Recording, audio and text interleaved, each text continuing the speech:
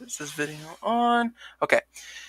So, I wanted to talk to you guys about this particular situation I've been struggling with because I, I swear to God, I can never figure it out. So, I don't know why people have been disrespecting this movie, and I swear to God, it does not make any sense. I have so many good memories of this movie, and it makes a good primary reason why um, it answered my question before of how um, rappers first started when they actually um, got into um, the whole scene. Um, and it kind of gave me a little bit of a glimpse. Now, besides Eight Mile, which uh, came out back in 2002, I wasn't allowed to watch that. So obviously I couldn't until 2015. Um, I actually watched um, Let It Shine. Now, a lot of people would actually have a problem with this movie, and I don't know why. It makes no sense.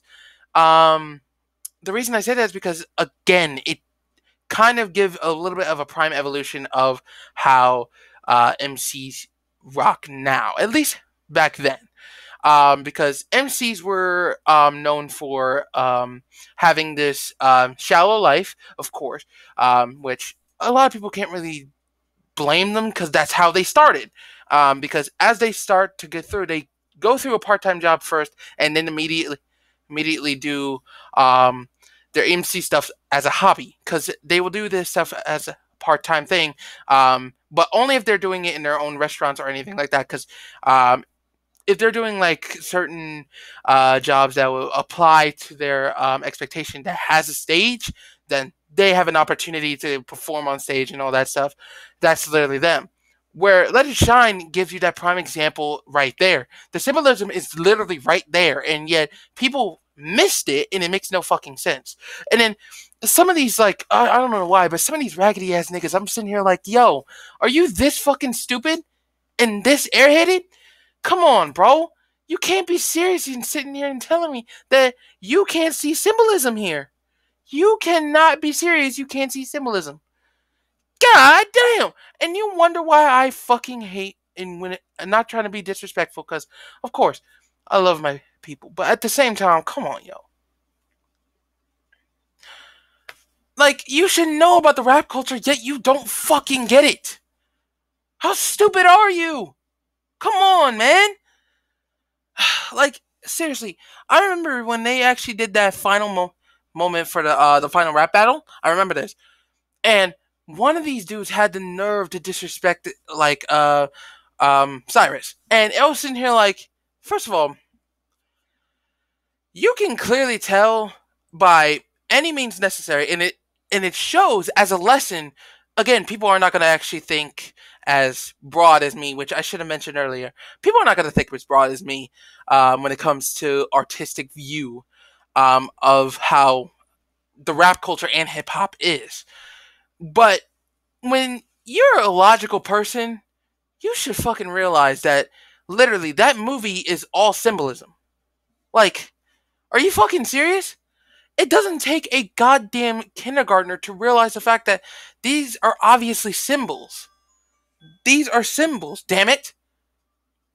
These are symbols. Come on. They're not that stupid.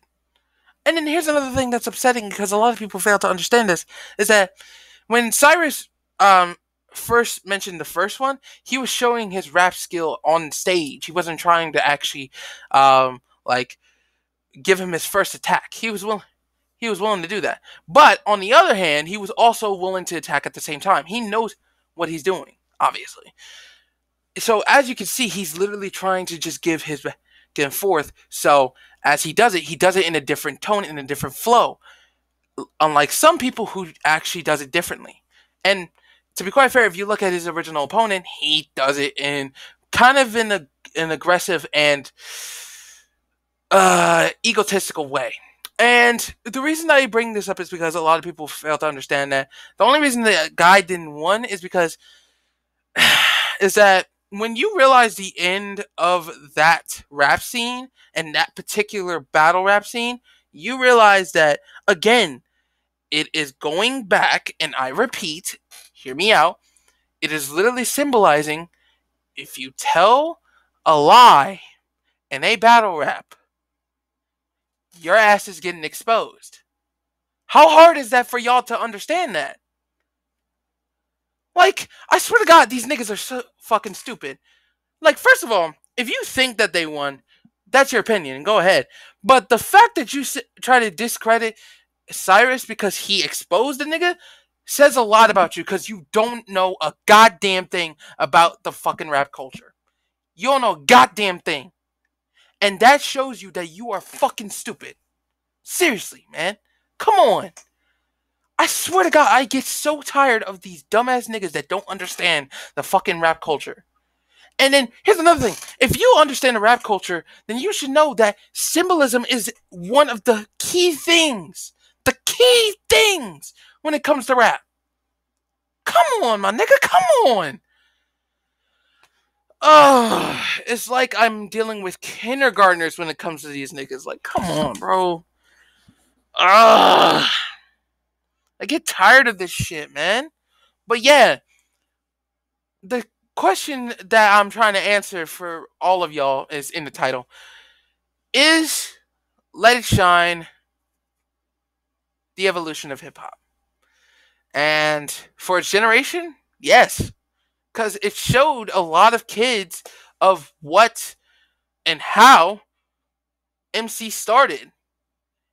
Because otherwise, people would fig- wouldn't have figured out how they actually first started as uh, rappers. And to be quite fair, regular MCs.